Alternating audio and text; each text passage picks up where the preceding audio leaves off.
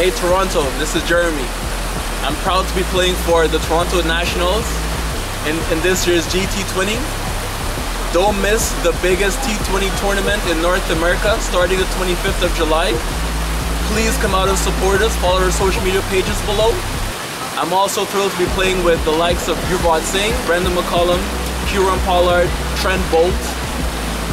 Come support us. We love you.